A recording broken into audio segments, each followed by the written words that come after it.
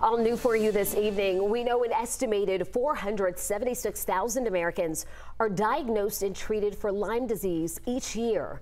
The CDC says it's becoming common in more areas of the U.S. Now, the only vaccine in development to prevent it is headed to phase three trials. Tonight, we are explaining what happens next if it's found to be safe and effective and the timeline for when it could become available. It's the only vaccine in development that could protect against Lyme disease. Pfizer says it will begin a large clinical trial together with a French vaccine company testing whether its vaccine is safe and effective. The best part about Lyme disease is it's preventable.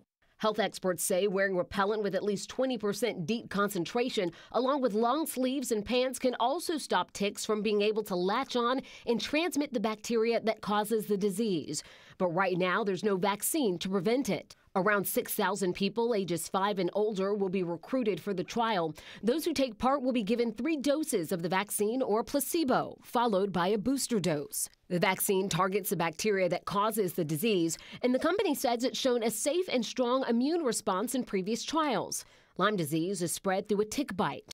Initially, it's a little red spot where the bite took place but then the redness expands. Antibiotics can knock out the infection early on, but if left untreated, the infection can spread to the joints, heart, and nervous system. If there's been a tick and we are uncertain of the length of time this tick has been on our body, in other words, it could be longer than one to two days, uh, we should seek medical attention. If the vaccine is found to be safe and effective, Pfizer says it could submit requests for approval in the U.S. and Europe in 2025.